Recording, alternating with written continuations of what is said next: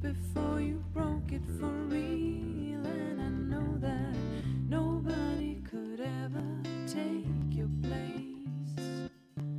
Um, because so many people have had sightings of the Loch Ness Monster. Um, plus, it could be a really old dinosaur. And it would be really cool if Nessie